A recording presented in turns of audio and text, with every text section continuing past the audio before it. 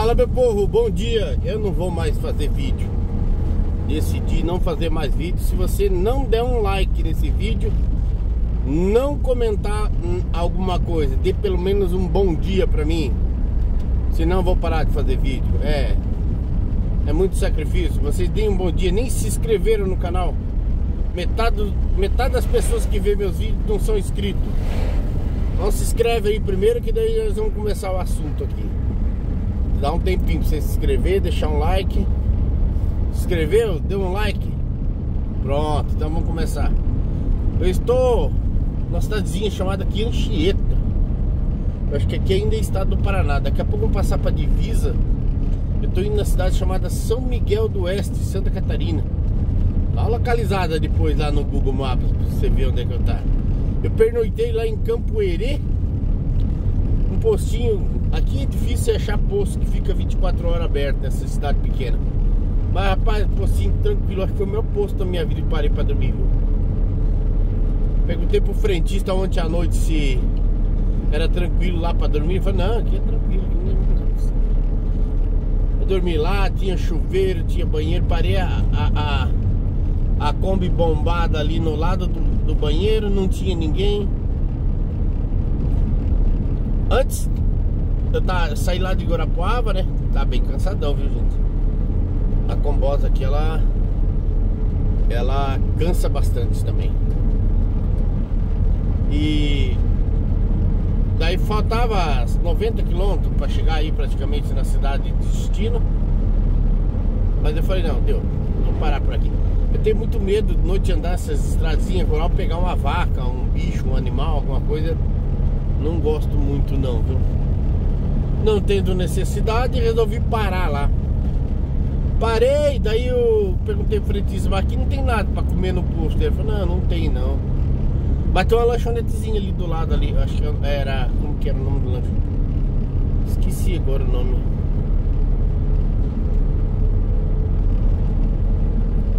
Koinski, Koinski, esqueci. Não lembro agora. Aí fui lá, comi um lanche, tomei uma cerveja e do lado do posto, botei no posto e fui dormir. Desmaiei, né? Cansadão, com as pernas tudo doídas. Aí agora saí cedo, mas já rodei já quase 50 quilômetros já. Estamos indo nessa estradezinha aqui muito bonita. Olha só que, que vibe gostosa. Pouco movimento. Melhor do que pegar aquele Embu das Artes ali né, em São Paulo. Aff, Maria, ninguém merece. Aí eu vou fazer essa entrega. Aí fechou. Aí vamos seguir viagem. Vamos voltar para Curitiba. Vamos ver se achamos algum fretezinho de retorno, alguma coisa no caminho pra gente ir retornando. Mas os lugares pra cá, gente, é, é, é, é paradisíaco. É o sonho de todo mundo viajar num lugar assim sem poluição visual, é só paisagem de roça, fazenda. Tá muito bom, tá muito gostoso trabalhar por conta.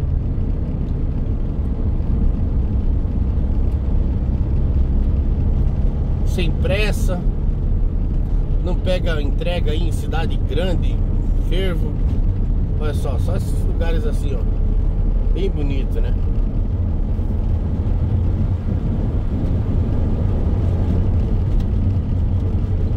Paisagem. Aqui esses horários você passa, em qualquer lugar que você passar de manhã, posto, farmácia, mercado, você vê o vivente agarrado numa cuia de chimarrão com a garrafa térmica. É um hábito deles, viu? Tinha esse hábito também quando trabalhava na roça, mas hoje não tenho mais.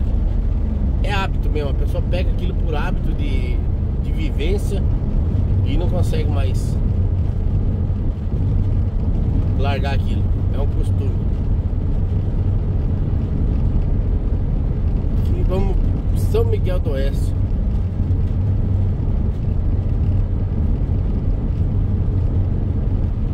Ontem um menino falou assim, e aí a combosa, como é que tá? Eu falei, é, rapaz, não é Kombi não, é caminhão. Falei, não, eu sei, cara, eu tô forma de dizer, eu falei, não. Também, eu entrei na brincadeira. E é o seguinte, gente. Perdi o fio da meada do que eu ia falar.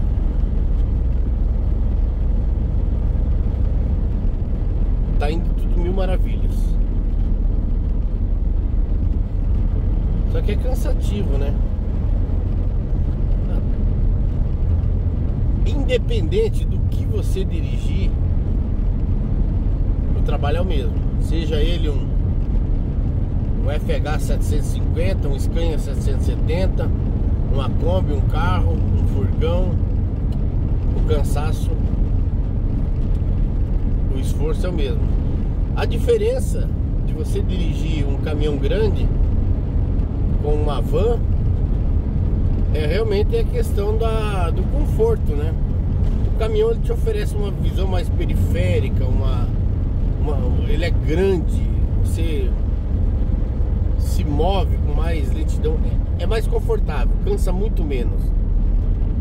Você quer rodar mil quilômetros com um caminhão, não quer rodar 500 com uma van, porque ele realmente é a forma de dirigir é outra.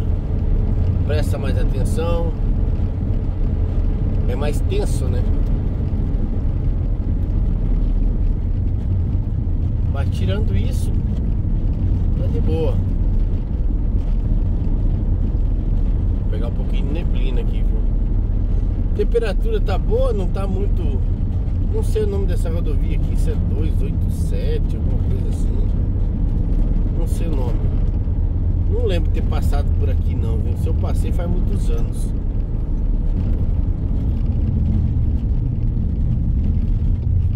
As galinhas, a galinha gorda lá na pista lá. Fica aí, galinha, fica aí, fica aí que o almoço tá garantido.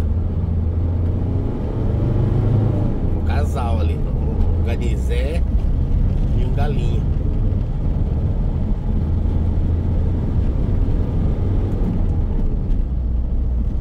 Daqui a pouquinho tá chegando lá nessa entrega. Lembrando a vocês, eu tô repetindo em todos os vídeos. Durante a semana eu vou estar tá soltando os vídeos que eu gravei lá na Maçaneira com o caminhão, quando eu tava trabalhando na plataforma PX. Esses últimos vídeos ali eu fiz com o FH 420. Depois peguei um Scania 410. Então Durante a semana eu vou soltando aqueles vídeos lá. Até eu acabar aquele estoque de vídeo que eu tinha lá. O último que eu postei eu não lembro. Mas vocês vão vendo aí. Daí dia de semana eu solto os vídeos de caminhão. E nos finais de semana, sábado, domingo, eu solto os vídeos da van. Para quem não tá acompanhando os vídeos da van, tem uma playlist, para quem sabe o que é playlist, né? Tem gente que não sabe. Tem uma playlist que é só os vídeos da van. Eu sou o velho da van. tem o velho da Avan e tem o velho da van. Que eu já... Ah, pronto, falei. Mas é te dá uma, uma sensação. Ainda não caiu 100% a ficha assim de que eu tô trabalhando pra mim. Dá a impressão que eu sou empregado, tô trabalhando pra alguém. Eu acho que eu só vou perceber isso quando quando quebrar a van, né? até agora não quebrou ainda. Tomara que não quebre tão cedo. Ainda tô sistemático com aquele esquema do filtro Racor. Por que, que o cara tirou? Na verdade ele não tirou, né? Foi um mecânico que falou pra ele, não. Tá dando problema de entrada de ar e tal. Tirou o filtro Racor, deixou só o filtro de lata. Eu não entendo essa mecânica. Mas eu pensei, eu, vou pela lógica, né? Como eu já falei nos vídeos anteriores por que, que o engenheiro colocaria aquele filtro? O filtro Racor é o que filtra a água do diesel. A gente tá na estrada, uma hora abastece num posto, uma hora no outro. E às vezes pega diesel impuro, né? Então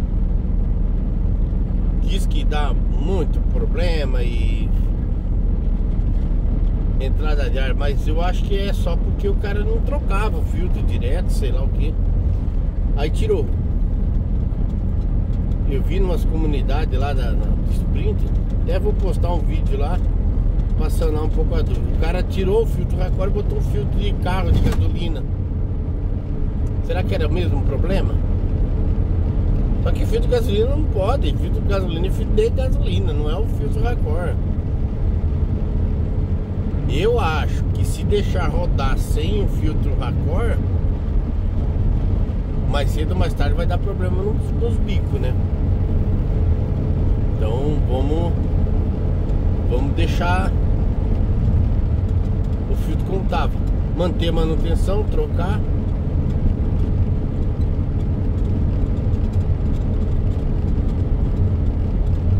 E vamos sentindo. Mas ela tá muito boa. Só que eu não ando correndo, tá? Eu vejo que tem uns caras que passam de vão por mim assim, como se eu tivesse parado. Mas, cara, eu não sei, eu pra mim tá bom, 80, 90, 80, 90. Eu acho que eu ganho um pouco na economia. Agora é aquela coisa, né? Vai da pressa de cada um, né? Quem tem pressa e quem não tem, né? Olha cada lugar bonito, gente, ó. Bonito que eu digo assim, uma vibe diferente, né? Sem poluição visual, sem Olha os cabritos ali, ó. Tem cabrito. As fazendas aqui, uns riozinhos bonitos. Gosto de andar nesses lugares. A van tá muito firme, tá muito boa, muito poderosa.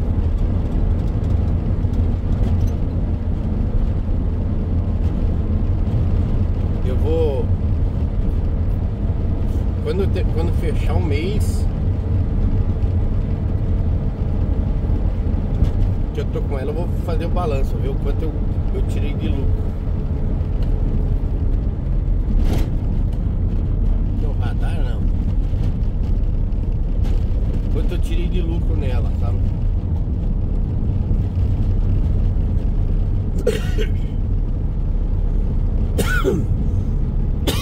Os gastos na estrada são significativos, né? Porque você paga tudo, gente. Tudo, tudo, tudo é café da manhã, é 10, 15 pila, almoço é 30, 35, dependendo da região é até mais caro. Aí você faz um lanche à noite, alguma coisa mais, uns 20, 30 pila. Eu tenho gastado é, em torno de 100 reais por dia para me alimentar e e aquela coisa, não passar necessidade. Comer bem tranquilo assim. Às vezes toma uma coca, toma uma água mineral com gás, toma, né? Compra uma balinha. Então ela. Isso aí tá nos custos. Mas independente disso, aqui ou em casa, eu estarei gastando do mesmo jeito. Em casa estou gastando água, estou gastando luz. E também com, com comida, né? Porque afinal a gente trabalha, trabalha para comer.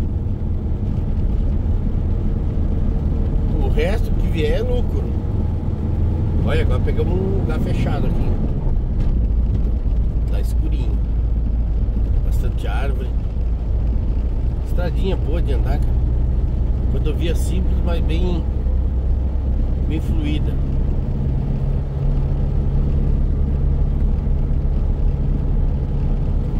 Eu não deu tempo ainda. Eu vou. Eu tenho que parar numa.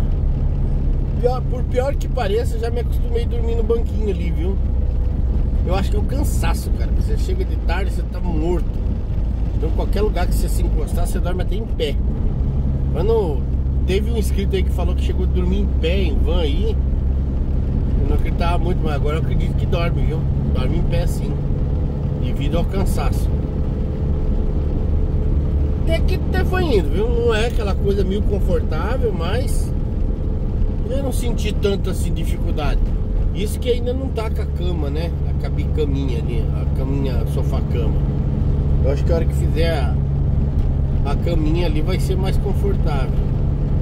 Mas já é, me adaptei ali a dormir ali na, na caminha.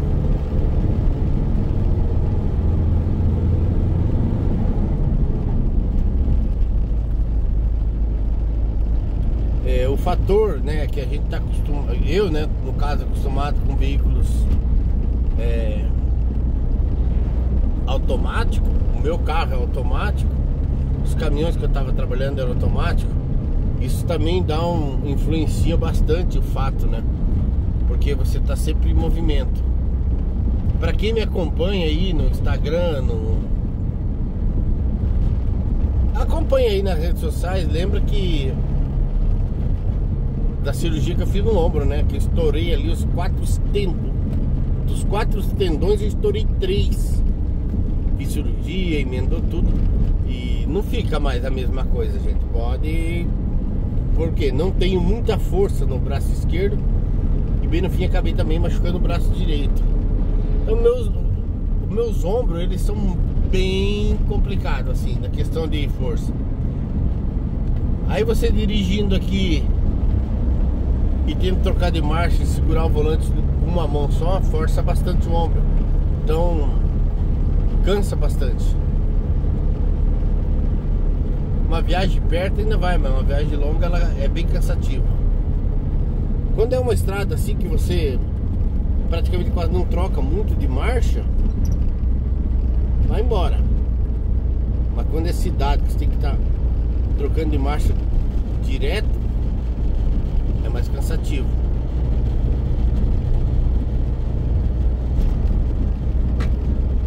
Nem sei se tem dessas é, van automáticas ou não.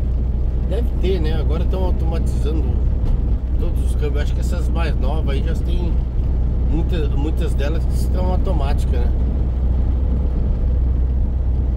Câmbio automático ali, né? Aquele que troca de marcha sozinho, igual os caminhão. Aí parei ali no posto atrás, esse posto Anchieta, comi um pastel, tomei duas xícaras de café, 18 reais.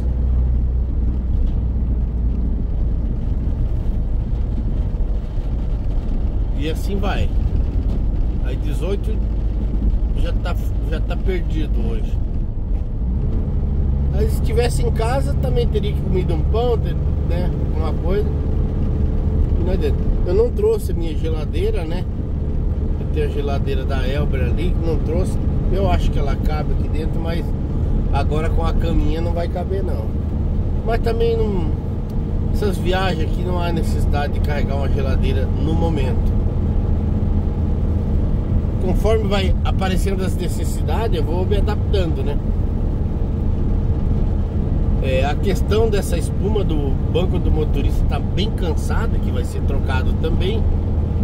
Força muito o joelho da parte do acelerador. Então você fica numa posição muito baixa. E isso fica forçando, porque você fica horas e horas, né? Ali forçando a planta do pé para acelerar. também cansa. O joelho aqui na, na, na, virilha, na coxa, esses tendões que faz a ligação do pé com a coxa ali, ele fica bem cansativo também.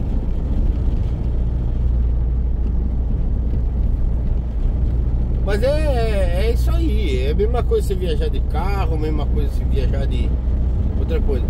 A ideia é de vez em quando parar, dar umas alongadas, dar uma esticada, eu tenho feito isso. E como eu tenho sobrepeso, né? Eu sou, sou gordo, falar isso, né? Tenta enfeitar um nome bonito ali. Gordo e sedentário. Fugindo disso é só enfeite. Aí afeta bastante a, a, a parte da coluna ali também. E tudo que é médico, você vai, exame que é médico, ele fala, ó, você tem que emagrecer, você tem que emagrecer. Só falam isso é difícil. Ou falta de vontade, talvez, né? Difícil não é, é falta de vontade mesmo. Mas enfim, aí pelo sobrepeso e como essa espuma tá bem, bem socada, bem cansada, ele dá muito impacto na, na região lombar ali. Aí você desce todo quebrado, dor nas costas.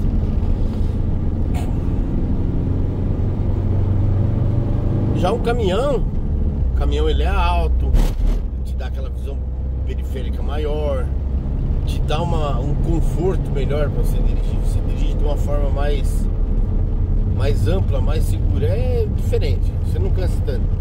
O banco é tudo com suspensão a ar, né? Hoje, né?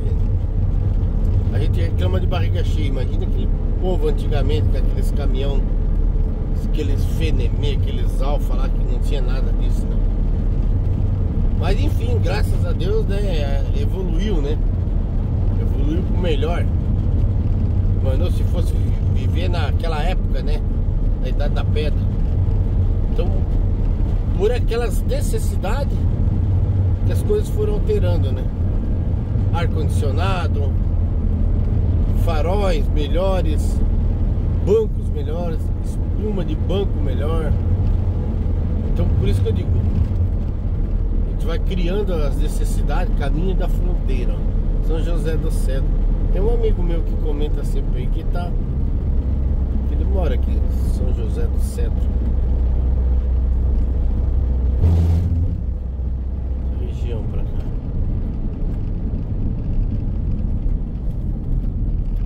E agora aqui pra onde que eu vou? É pra cá que eu vou, São José do Centro? Eu acho que é.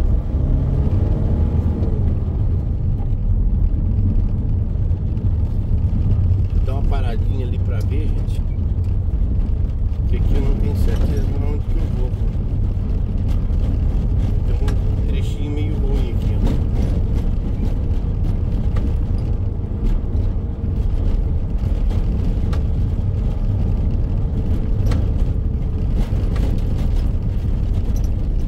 Se eu não errei aqui, de repente é pra lá, né? Já volta aí, só dá um time. Outro lado. Ainda bem que eu parei aqui logo de cara. Eu tava indo pro lado errado.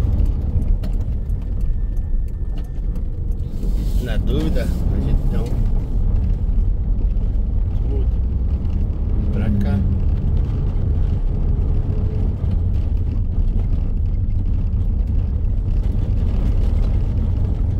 Caminho do pedreiro aí.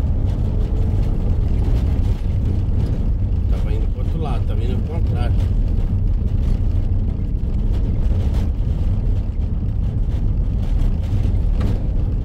Perto de Chapecó já. Aqui o asfalto já tá bem ruim, viu?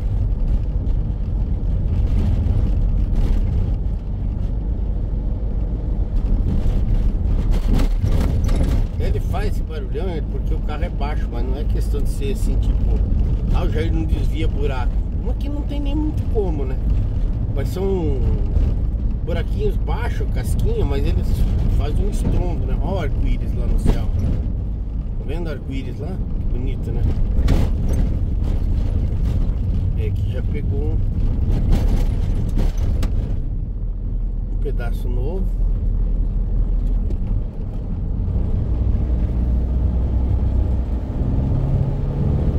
Acho que eu já passei aqui? Não lembro quando, mas já passei sim.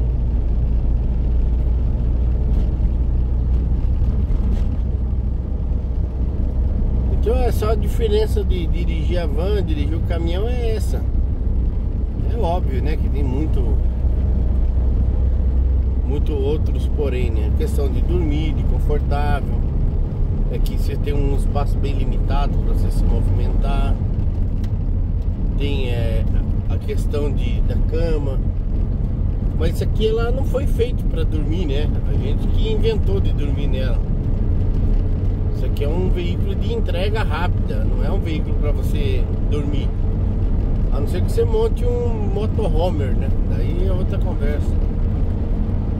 Mas é, é um veículo que não foi feito para você para viajar, para dormir. A gente que adapta, né?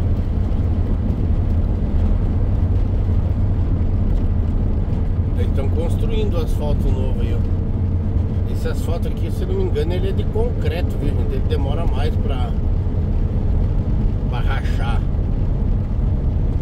Acho que eles fazem uma malha por baixo de arame e coloca concreto aí.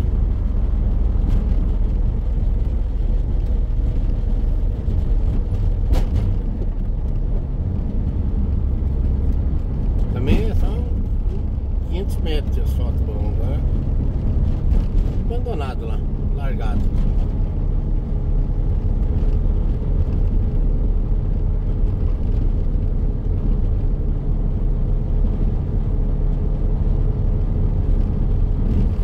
Pessoal, obrigado por estar acompanhando, assistindo. Daqui a pouquinho eu faço um novo vídeo.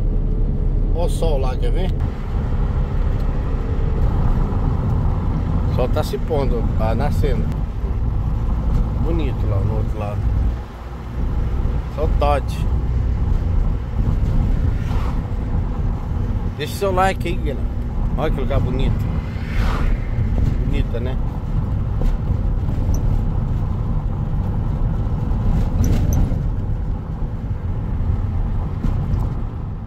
Só retornamos aqui.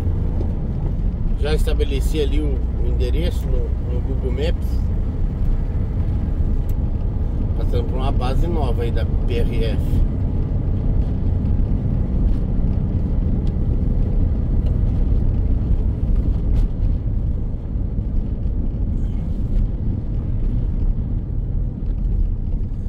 Aqui é, é região de fronteira, né, gente? Então é muito delicada a questão de contrabando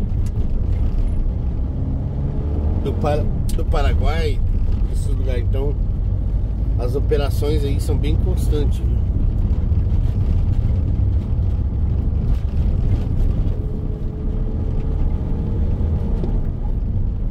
É, o asfalto tá assim, ó. Uma mijadinha ali, outra colar.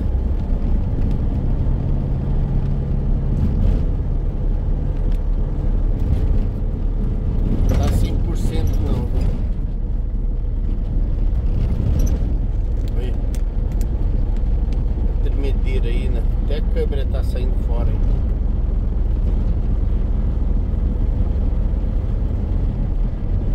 Mas é.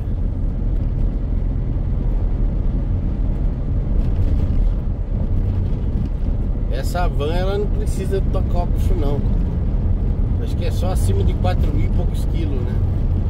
Ou se ela for escolar de passageiro.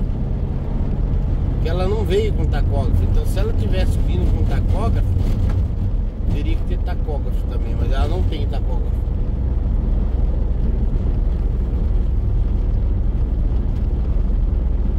Tá um dia bem bonito aqui, viu? Enquanto não tá calor, não tá frio demais, tá fresquinho.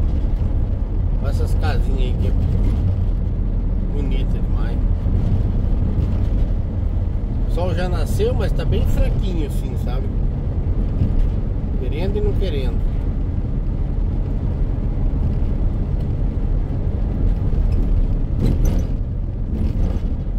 estiver entrando na cidade lá, eu volto a filmar, galera.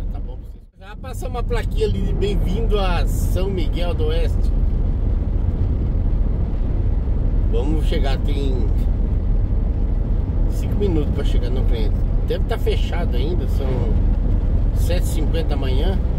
Mas quero ser o primeiro a tocar lá. Eita, vou abrir a loja. É que ela tá fazendo uma outra loja e talvez não seja no, no, endereço que passaram, mas que é do lado ali, sabe? Aí eu vou lá na loja que que é pra estar tá lá, daí se ela se não é ali no outro lado, aí a gente vai lá. Cidade simpática, viu? O povo pra cá trabalha demais tem mulher bonita, rapaz. Tem mulher bonita nesses lugares que você não faz nem ideia, cara. Pensando, nossa senhora, o que uma mulher bonita dessa tá fazendo aqui? Tá vivendo, né? Melhor que nós. Região do meio é muito bonita pra cá. Umas galegas, umas italianas, umas alemãs. As morenas também, né?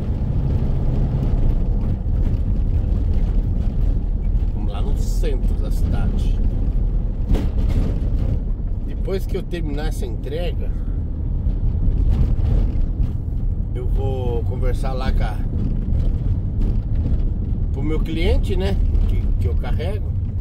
Perguntar quando será a próxima entrega. É semana que vem, provavelmente. Eu quero ver se paro numa oficina aí. Eu vou mexendo aos pouquinhos, né? Eu quero mexer nesse freio de mão. Não tá segurando nada. Que quando eu peguei ela tinha dois toletinhos lá dentro, lá, dois calços. E eu não, não tinha entendido pra que que era, sabe? Aí uma hora que eu puxei o freio de mão nela, na que ela começou a descer, eu entendi pra que que era aqueles dois, dois calços lá dentro. Vai ter que prestar atenção aqui, vocês, vocês vão relevando aí. É grande cidadezinha.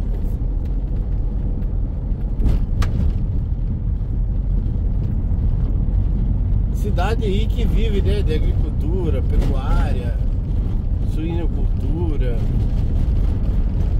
e alguns pequenos comércios. O pessoal tá abrindo cedo já, as lojas tudo abrindo. Bom, também já são 10 para as 8 da manhã, né?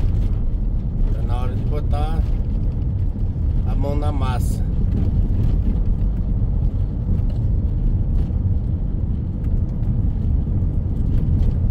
Eles fecham cedo também.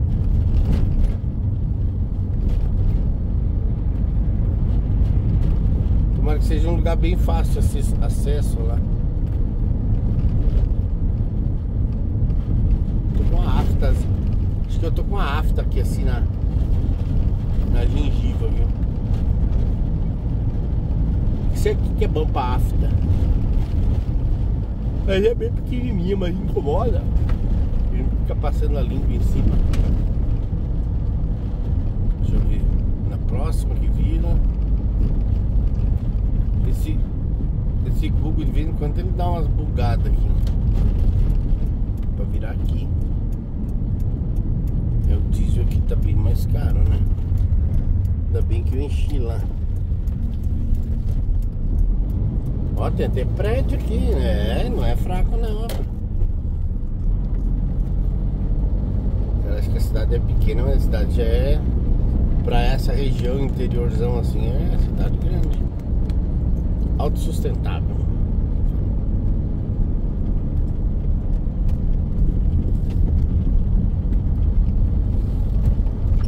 Amanhecendo o dia, olha o sol nos prédios lá.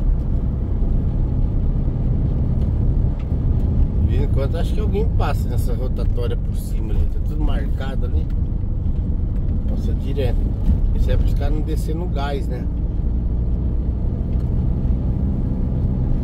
Tomei um banhão de manhã. Ontem de noite eu vendi o banho. Sabe por que, que a gente fala vender o banho, gente? Vocês entendem isso ou não? Só quem é da estrada que sabe, né? A gente fala vender o banho, porque normalmente caminhoneiro, quando tem que passar nos postos, ele compra um tiquezinho, uma senha, pra tomar banho 5 reais, 10 reais. Ele compra, né? Daí quando ele não vai, não toma banho, ele vende para outro parceiro aquele tiquezinho. Aí a gente sabe, a gente que quando não toma banho, a gente usa a expressão vendi o banho. E hoje eu vendi o banho. Então daí usa essa expressão. Acho que eu vou vender o banho hoje, entendeu? Daí surgiu essa expressão de quando não toma banho falar aí vendi o banho hoje. Olha que bonito esse pinheiro aqui bem na frente do prédio, ó. Destacou aqui, né? Então aqui eu tenho que virar meio, meio estranho essas rotatórias, você não sabe se é sua, se não é.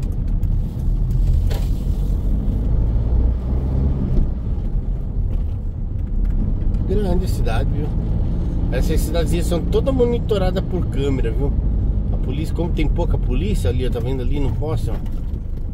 Eles vigiam tudo por câmera. Porque ultimamente tá muito, muito visada essa cidade para roubo, né? Roubo de caixa, de banco. Justamente pelo pequeno efetivo de, de, de, de polícia e. Então as grandes quadrilhas elas miram muito essas cidades pequenas aí. Pra explodir caixa, banco e tirar o dinheiro.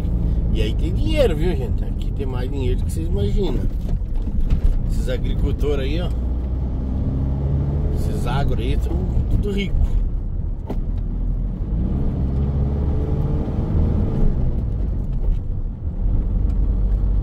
pouco movimento até para esse horário.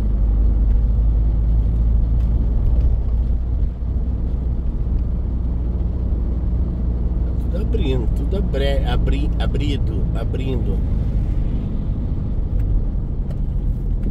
Eu passei lá em cima naquela lojinha amarela lá, olha.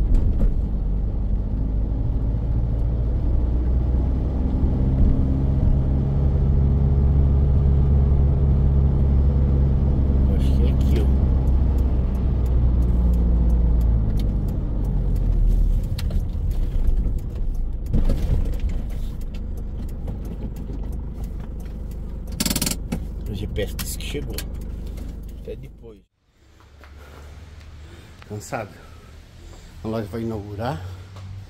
Tá os grandes. Só o Todd.